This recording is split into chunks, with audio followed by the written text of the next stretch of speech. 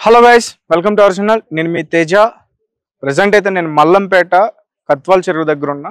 So నిన్న మనం చూసాం కత్వాల్ చెరువుకు సంబంధించి దాని ఎఫ్టిఎల్ బఫరింగ్ జోన్లో ఉన్న బిల్డింగ్స్ అన్నిటిని కూడా విల్లాస్ అన్నిటిని కూడా నిన్న హైడ్రా కమిషన్ కూల్చేయడం జరిగింది. ఒకసారి చూడండి ఈ చెరువు కూడా దీని విస్తరణ చాలా పెద్దగా ఉంది.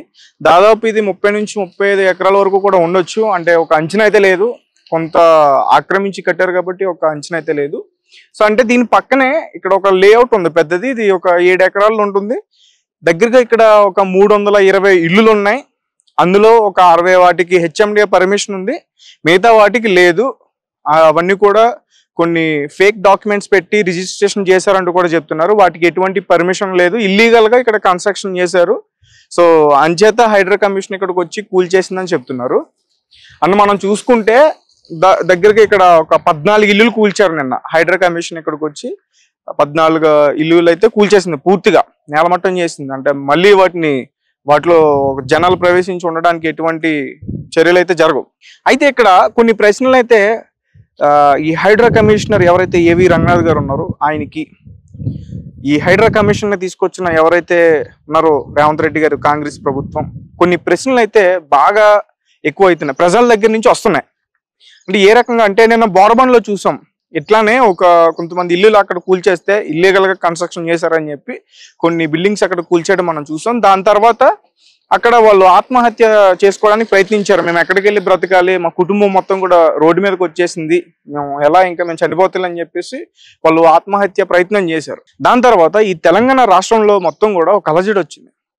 ఏంటి ఇల్లులు కూల్చేస్తున్నారు? పేదవాళ్ళు పేదవాళ్ళు ఇల్లులు కూల్చేస్తున్నారు సామాన్యులు ఇల్లు కూల్చేస్తున్నారు పెద్ద పెద్దలకు ఏమో నోటీసులు ఇస్తున్నారు వీళ్ళకి నోటీసులు ఇవ్వట్లేదు కూల్చేస్తున్నారు. ఇది ఎలా కరెక్ట్ అని చెప్పేసి చాలా మంది ప్రశ్నిస్తున్నారు. ఈ రకంగా దీనికి ముందు ఏం చెప్పారు?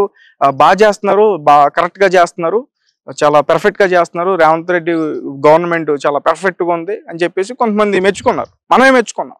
మళ్ళీ ఇప్పుడేమో ప్రశ్నిస్తున్నారు కొత్తగా.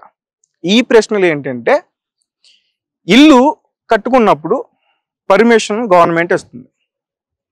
దాని తర్వాత ఆ ఇంటికి సంబంధించి ఏదైతే ఉందో పవర్ పవర్ సప్లై దానికి పర్మిషన్ కూడా గవర్నమెంట్ ఇస్తుంది. దాని తర్వాత ఈ రోడ్ ఏదైతే ఉందో చూస్తాం కదా road number thirteen road number thirteen ఇది లాస్ట్లో ఉంది ఈ రోడ్ ఈ రోడ్డు వేయడానికి కూడా గవర్నమెంట్ పర్మిషన్ ఇచ్చింది.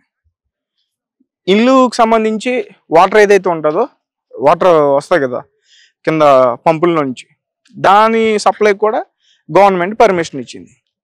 అలాగే ఇల్లు కట్టినప్పుడు కానీ ఇల్లు ల్యాండ్ కొన్నప్పుడు కానీ ఆ ల్యాండ్ రిజిస్ట్రేషన్ చేసినప్పుడు కానీ ఒకవేళ ఇల్లు కొనుక్కుంటే వేరే దాన్ని కన్స్ట్రక్షన్ పూర్తిగా చేసి దాన్ని వేరే వాళ్ళకి అమ్మేసినప్పుడు కానీ రిజిస్ట్రేషన్స్ అయితే కొన్ని ఉంటాయి. ఆ రిజిస్ట్రేషన్ చేసేది ఎవరు? ప్రభుత్వ అధికారులే కదా. మరి ప్రభుత్వ అధికారులు వాళ్ళు చేసిన దుర్వినియోగం వల్లే కదా మరి ఇక్కడ సామాన్య ప్రజలు లాస్ అయిపోతున్నారు. అని చెప్పేసి కొంతమంది ప్రశ్నిస్తున్నారు. అంటే నాకైతే కరెక్టే అనిపిస్తుంది. నిజంగానే ముందుగానే ప్రభుత్వం దీనిపైన స్పందించి ఇది ఇల్లీగల్ కన్స్ట్రక్షన్ వాళ్ళకి ముందుగా చెప్పి లేకపోతే ముందు ఏ అయితే ఉన్నాయో గవర్నమెంట్ వాళ్ళతో చర్చించి ఎలాంటి చర్యలు తీసుకుంటే బాగుంది అనిపిస్తుంది. ఇప్పుడు ఎందుకు ఈ రకంగా చెప్పాల్సి వస్తుందంటే ఇక్కడ కూల్ చేసినవన్నీ కూడా మనకి న్యూస్ ఛానల్లో పెద్ద పెద్ద విల్లాస్ అని చెప్పేసి అంటున్నారు కానీ పెద్ద పెద్ద విల్లాస్ ఏం కాదు. సామాన్య ప్రజలు ఉండే ప్లేస్లే జస్ట్ ఒక టూ ఫ్లోర్స్ ఉన్న బిల్డింగ్స్ మొత్తం కూడా ఈ పెద్ద ఎక్కువేం లేదు. ఒక పది సెంట్లు ఇరవై సెంట్లు అట్లా ఉండవు. దా ఒక మూడు నాలుగు సెంట్లో ఒక ఇల్లు నిర్మాణం. మూడు నాలుగు సెంట్లో ఇల్లు నిర్మాణం చేసుకునేది ఎవరు? మధ్యతరగతి కుటుంబం వాళ్ళే కదా.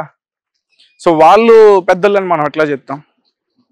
సో అంటే కొన్ని లక్షలు పెట్టి వేరే వేరే బ్యాంక్స్లో లోన్ తీసుకుని లేకపోతే ఊర్లో ఉన్న పొలాలు అమ్ముకుని మొత్తానికి ఒక ఇల్లు కావాలి ఇల్లు కట్టుకోవాలి ఇల్లు అనేది ఒక కళ ప్రతి ఫ్యామిలీకి కూడా. అలా కొంతమంది ఇక్కడ ఇల్లులు నిర్మించుకున్నారు. నిర్మించుకున్న తర్వాత సారీ నిర్మించుకునే కన్నా ముందు ఈ స్థలాలు కొనుక్కున్నారు. వాళ్ళకి తెలియదు ఇక్కడ. స్థలాలు కొనుక్కున్నారు. ఈ స్థలాలు అమ్మిన ఆవిడ ఎవరు? విజయలక్ష్మి అంట. మరి వా- ఆవిడ గురించి చాలా మంది కూడా ఇక్కడ చెప్పడం జరుగుతుంది. ఆవిడ వీళ్ళందరికీ కూడా స్థలాలు అమ్మిందంట. స్థలాలు అమ్మి కన్స్ట్రక్షన్ చేసి కూడా కొంతమందికి అమ్మేస్తారు. ఆమెకి ఒక పదిహేను రోజుల క్రిందట నిన్న నిన్నటి నుంచి వెనక్కి వెళ్తే ఒక పదిహేను రోజుల క్రిందట హైడ్రా కమిషన్ నోటీసులు ఇచ్చిందంట. నోటీసులు ఇచ్చినప్పుడు ఆమె వీళ్ళెవరికి కూడా చెప్పలేదు. ఎందుకు చెప్పలేదు? వీళ్ళకి చెప్పింది అనుకో వీళ్ళందరూ వెళ్ళి ఆమె పేక మీద కూర్చుంటారు. కాబట్టి ఆమె చెప్పకుండా దాచింది. పాపం వీళ్ళకి తెలియకుండా ఇక్కడే ఉండిపోయారు. కానీ ఒక పది పదిహేను రోజుల నుంచి బయట ఈ హైడ్రా కమిషన్ న్యూస్ బయటకు వస్తుంది కాబట్టి చాలా చోట్ల చాలా ఇల్లులు కూల్స్తుంది కాబట్టి వీళ్ళ చెవులో కూడా ఖచ్చితంగా ఈ మంద కూడా బఫర్ జోన్లోనే ఉంటుంది. చెవులో జస్ట్ వాళ్ళ మైండ్లో కూడా ఆలోచన ఉంటుంది. మన కూడా బఫరింగ్ జోన్లో ఉందేమో మంద కూడా ఎఫ్టిఎల్ జోన్లో ఉందేమో. మన పరిస్థితి ఏంటని ఒక ఒక ఆలోచన అయితే ఖచ్చితంగా వాళ్ళలో ఉంటుంది. కాకపోతే సడన్గా అటాక్ చేయడం అనేది వాళ్ళకి నిజంగా షాకింగ్ అని చెప్పాలి.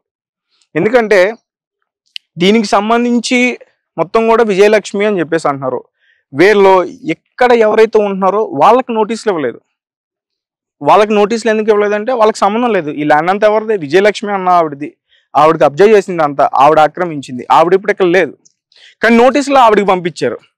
ఇక్కడ ఉన్న ఈ ఇళ్ళలో ఉంటున్న వాళ్ళందరికీ కూడా నోటీసులు పంపించలేదు.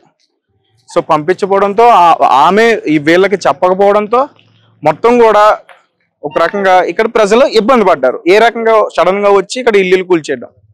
సో చూసారు కదా మొత్తం కూడా ఒక పది పదిహేను నిమిషాల్లో మొత్తం కూల్చేస్తుంది హైడ్రా కమిషన్. ఒక పెద్ద క్రెయిన్ వస్తుంది ఫటాఫటా కొట్టుకుంటూ వెళ్ళిపోతుంది. అలాగే నిన్నటి వరకు కూడా ఈ హైడ్రా కమిషన్ ఏదైతే ఉందో చాలా ఆవేశంతో ముందుకెళ్ళింది నిన్నటి వరకు. కానీ ఈ రోజు ఒక ఆలోచనతో ముందుకెళ్తుంది. ఈ రోజు ఎక్కడైనా ఒక న్యూస్ చూసారా? ఎక్కడ కూడా ఎవరు కూడా చెప్పలేదు ముందుకు వచ్చి హైడ్రా కమిషన్ పలానా చోట ఈ రోజు వచ్చి కూల్చేస్తుందని ఎందుకంటే ఒక ఆలోచనలో పడ్డది. ఈ ఆలోచనలో పడడానికి రీజన్ ఏంటంటే సున్నం చెరువు దగ్గర. సున్నం చెరువు దగ్గర ఏం జరిగింది? మొత్తం కూడా ఒక ఇల్లులన్నీ కూడా ఆక్రమించి కట్టారని చెప్పేసి కూల్చేశారు ఒక పెద్ద బిల్డింగ్ కూడా కూల్చారు. సగం కన్స్ట్రక్షన్లో ఉంది. ఆమె చూసాం కదా రేవంత్ రెడ్డి గారిని ఎన్ని మాట్లాడినదో సో అవన్నీ కూడా పక్కన పెడదాం. అవన్నీ కూడా నథింగ్ వాళ్ళు ఎవరైతే అక్కడ సున్నం చెరువు దగ్గర ఆక్రమించి కట్టుకున్నారో వాళ్ళు చాలా సామాన్యులు పాపం. అంటే పెద్ద పెద్ద బిల్డింగ్స్ కాదు. ఒక రేక్ షెడ్లలోనే ఉంటున్నారు వాళ్ళు. నిజంగా చాలా పేద కుటుంబం. వాళ్ళు ఒకసారిగా కూల్చేయడంతో బయటకు రోడ్డు మీదకి వచ్చారు. ఎక్కడికి వెళ్ళాలి? ఎక్కడికి వెళ్ళాలో తెలియదు వాళ్ళకి. వాళ్ళని ఎవరు ఇంట్లో ఉంచుకుంటారు? చెప్పలేం కదా ఎటువంటి సిచ్యువేషన్స్లో ఎవరు ఎలా స్పందిస్తారో మనకు తెలియదు మాకు ఇంకా వేరే దారి లేదు. మేము ఎలా అయినా సరే మాకు ఇల్లు లేకపోతే మాకు చావే దిక్కు అని చెప్పేసి వాళ్ళు ఆత్మహత్య చేసుకోవడానికి ప్రయత్నించారు. ప్రయత్నించినప్పుడు ఒక్కసారిగా హైడ్రా కమిషన్ షాక్ అయింది. హైడ్రా కమిషన్ ప్రజలకి మొన్నటి వరకు షాక్ ఇచ్చింది నిన్నటి వరకు షాక్ ఇచ్చింది. నిన్న మధ్యాహ్నం ఒక ఫ్యామిలీ హైడ్రా కమిషన్ షాక్ ఇచ్చింది. సడన్గా మొత్తం కూడా ఆపేశారు. కూల్చివేతలు ఎక్కడికక్కడ కూల్చివేతలు ఆపేశారు. ఆపేసిన తర్వాత ఒక ఆలోచన చేసి ఏ అయితే ఎఫ్టీఎల్ ఉన్నాయో ఏ అయితే బఫరింగ్ జోన్లు ఉన్నాయో పాపం తెలియక కొనుక్కున్న వాళ్ళు ఎవరైతే ఉన్నారో వాళ్ళకి నోటీసులు ఇచ్చి కొన్ని రోజులు టైం ఇచ్చి ఆ ఇచ్చిన రోజుల్లో ఖాళీ చేయమని చెప్పేసి వాళ్ళు చెప్పారు. అలా వాళ్ళని ఖాళీ చేయమని చెప్తున్నారు. ఆ ఇచ్చిన రోజులు టైం ఇచ్చిన రోజుల్లో ఖాళీ చేయకపోతే ఇదే పరిస్థితి. ఇలాగే జరుగుతుంది. వస్తారు మంచిగా కూల్చేస్తారు అప్పుడు మనం ఎంత ప్రయత్నించి మనల్ని అడ్డుకోవడానికి ప్రయత్నించినా సరే కుదరదు. అలాగే ఇక్కడ ఈ మల్లంపేటలో చూసుకుంటే ఇంకో ఇదే బిల్డింగు. దాదాపు దీన్ని నిర్మించడానికి ముప్పై నుంచి నలభై ఒక యాభై లక్షల వరకు కూడా ఖచ్చితంగా అవుతుంది. సో మరి దీనికి కూడా మార్కింగ్ ఇచ్చారు. అక్కడ ఎక్స్బి అని ఇచ్చారు. ఎక్స్ అంటే ఇంకా దాన్ని డిమాలిష్ చేస్తారు. బి అంటే అది బఫరింగ్ జోన్లో ఉంది. పూర్తిగా కూడా దాన్ని కూల్చేస్తారు దీని పక్కనే కూల్చేస్తారు కాకపోతే ఇక్కడ ఇది ఇంకా కన్స్ట్రక్షన్స్లో ఉన్నాయి. ప్రజ ఇందులో మనుషులు ఎవరు లేరు కాబట్టి దీన్ని కూల్చారు. ఇందులో కొంతమంది నివాసం ఉంటున్నట్టున్నారు. సో కాబట్టి దీన్ని వాళ్ళు ఉన్నప్పుడు కూల్చడం సాధ్యం కాదు కాబట్టి వాళ్ళకు కూడా కొన్ని రోజులు టైం ఇవ్వాలి. వేరే ప్లేస్కి షిఫ్ట్ అయితే బెటర్ వాళ్ళు లేకుండా దీన్ని కూల్చేస్తే బెటర్ అని చెప్పేసి దీనికి కొన్ని రోజులు అయితే టైం ఇచ్చారు. మరి ఎన్ని రోజులు టైం ఇచ్చారని తెలీదు. కానీ సాధారణంగా హైడ్రా కమిషన్ ముప్పై నుంచి పదిహేను రోజుల వరకు కూడా టైం ఇస్తుంది. ఇప్పుడు నేను చెప్పేవన్నీ కూడా నా సొంత మాటలు కాదు. నేను ఇక్కడ కొంతమంది వ్యక్తులతో మాట్లాడుతూ వాళ్ళ అభిప్రాయాలు తెలుసుకుంటూ రేవంత్ రెడ్డి గారి ప్రభుత్వం ఈ పనితీరు పైన తెలుసుకుంటూ ఇవన్నీ కూడా నేను మీకు చెప్పడం జరుగుతుంది. అటుపక్క చూపించాను కూల్ చేసిన బిల్డింగ్స్ ఇంకో ఇటు పక్క ఇప్పుడు. సో ఇవన్నీ కూడా ఇల్లులు చాలా చాలా చక్కగా నిర్మించారు. ఒక్కొక్క ఇల్లు ఒక్కొక్క డైమండ్ అని చెప్పొచ్చు. డబ్బులు కూడా అంతే ఖర్చు అవుతాయి కదా. అయితే చాలామంది తీవ్ర విమర్శలు అయితే చేస్తున్నారు ప్రభుత్వాన్ని. మరికొంతమంది అయితే ప్రభుత్వాన్ని మెచ్చుకునే ప్రయత్నం చేస్తున్నారు. కరెక్టే కదా. అంటే ఇక్కడ తప్పు ఎవరిదంటే బిల్డర్దని చెప్పొచ్చు. ఆ బిల్డర్కి ఎవరైతే ప్రభుత్వం నుంచి సహకారం అందించారో అధికారులు వాళ్ళదని చెప్పొచ్చు. పూర్తిగా ఎందుకంటే ఇప్పుడు ల్యాండ్ రిజిస్ట్రేషన్ కానీ ఈ పవర్ సప్లై కానీ ఈ రోడ్డు వేయడం కానీ ఈ వాటర్ సప్లై కానీ ఇవన్నీ కూడా మరి ప్రభుత్వం నుంచే వస్తాయి కదా. వీళ్ళు ట్యాక్సులు కూడా కడుతున్నారు కదా ప్రభుత్వానికే కడుతున్నారు కదా. కాబట్టి అంతా కూడా ప్రభుత్వం సంబంధించి అధికారులు తప్పొచ్చు. అది ఈ ప్రభుత్వంలో ఉన్న అధికారులదా కిందటి ప్రభుత్వంలో ఉన్న అధికారులదా లేకపోతే మన రాష్ట్రం విడిపోక ముందు ఉన్న ప్రభుత్వం అధికారులదా ఎవరిదనేది తెలియదు మొత్తానికి బయ వాళ్ళ అధికారులు ఎవరైతే ఉన్నారో వాళ్ళని ఖచ్చితంగా బయటికి తీసుకురావాలి. ఈ బిల్డర్స్కి ఇక్కడ దీనికి ఇది కబ్జా చేసిన దానికి ఈ ఫేక్ డాక్యుమెంట్స్ పెట్టి ఎవరైతే రిజిస్ట్రేషన్ చేసుకున్నారో దానికి సహకరించిన అధికారులకి వాళ్ళందరిని కూడా బయటికి తీసుకొచ్చి వాళ్ళకి ఖచ్చితంగా శిక్షలు వేయాలి. ఇలా డైరెక్ట్గా వచ్చి కూల్చేయడం కాకుండా ముందు వాళ్ళని బయటకు తీసుకొచ్చి వాళ్ళకి శిక్షలు వేసి దాని తర్వాత అటాక్ చేస్తే బెటర్ అని నాకు అనిపిస్తుంది. సో చూసారు కదా ఇంకా కూల్చేశారు ఇంకేం చేయలేం. మొత్తానికి సో నాకైతే చాలా బాధ అనిపిస్తుంది. ప్రతి ఒక్కరికి కూడా ఇల్లు అనేది ఒక కళ ప్రతి ఫ్యామిలీకి కూడా ఇల్లు అనేది ఒక కళ.